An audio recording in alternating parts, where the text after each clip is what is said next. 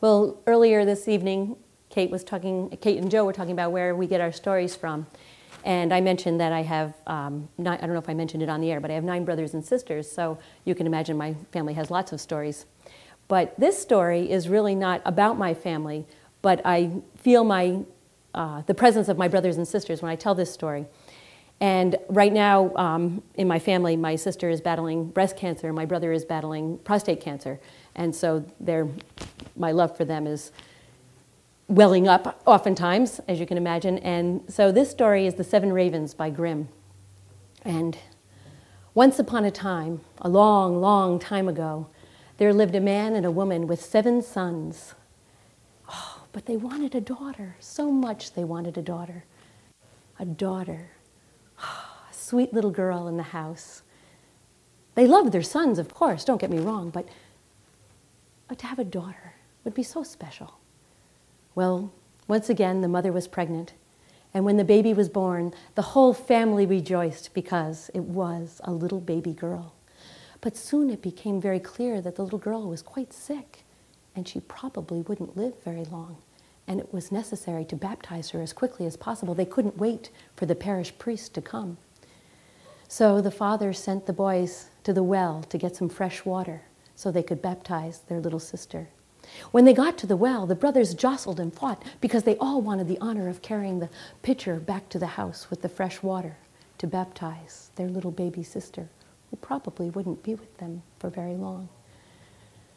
Well, in their jostling and pushing and shoving, the pitcher fell into the well.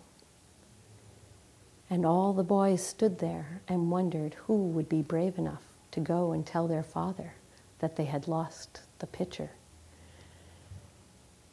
Minutes passed. Soon a quarter of an hour went by, and the father and mother were in the house wondering what could be taking those boys so long. And fi- finally, in his anger, their father said, Those boys, they're no more good to me than a flock of ravens.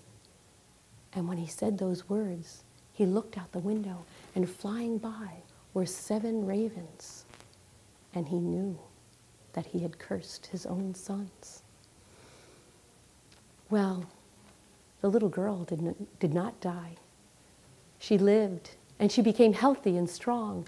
And just as they had, ma- and had imagined a little girl to be, she was sweet and she was lovely and she was intelligent and she was helpful and they loved her dearly. But they could never bring themselves to tell her about her seven brothers who had disappeared on the day she was born. But you know, when she went out into the world, to school and to the town, she heard stories about these seven brothers that she had had and how they had disappeared one day. And she went home and she said to her mother and father, Is it true? Do I have seven brothers? Where are they? Well, they had to tell her the story. They told her not to blame herself, but of course she did. And she decided that she would go out into the world and she would find her brothers and she would bring them home again. And so one day she decided that was the day she would leave. She took with her a little ring of her mother's to remind herself of her mother and father back home. And she set out all alone into the world looking for her brothers.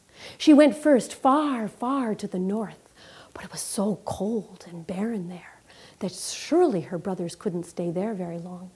And then she went far, far to the south, where the hot sun burned her, and she, oh, the sweat poured from her, and she knew her brothers couldn't be there. And then she found herself in the land of the stars. And the stars twinkled, and they told her that no, they hadn't seen her brother, but they gave her a little story. They told her that they had heard of a place where there was a glass mountain, and inside the mountain lived seven ravens, and possibly those might be her brothers. And the ravens gave her a little chicken bone that she put into her pocket and they told her that it would fit into the lock of the glass mountain and she could go in there and find her brothers. And so she said, they didn't know where the glass mountain was, but she set out to find it as she had searched for so long to find her brothers. A little while longer wouldn't matter. So she walked and walked, and there in the distance she saw shining in the sunlight what could only be a glass mountain. And each day it got closer and closer until finally she found herself right there at the base of that beautiful glass mountain. And there, just as the stars had told her, was a little door, and she reached into her pocket. But she had lost the little chicken bone. She looked all around her. It was nowhere to be seen. How was she to unlock the door? Well, in her pocket, she had brought with her a little knife. So she cut off her pinky, which fit exactly into the door, just as the chicken bone would have. And sure enough, the door to the glass mountain opened. And she covered her wound with her napkin, and she went in to the glass mountain. Can you imagine what that would be like to walk inside a glass mountain and see outside the sun shining, but everything so still and quiet? She walked up the stairs that she found before her. Inside she went, and she came upon a strange little man who seemed surprised to see her at first. But when she explained she was looking for her brothers, he said, oh, My lord ravens live here. Perhaps they are the brothers that you seek. And he brought her to a little room where a long table was set. And he, on, at each place was a little plate. And the funny little man placed some bread on each plate. And with the plates was a little goblet of, and he, in each goblet he poured some fresh water. And in the last goblet, she placed the ring she had brought with her. And then she went and hid behind the door. She waited, oh, so long it seemed she waited. When would she see her brothers finally after all this time? When by the window she heard a flapping of wings, and in the window came each one of her brothers.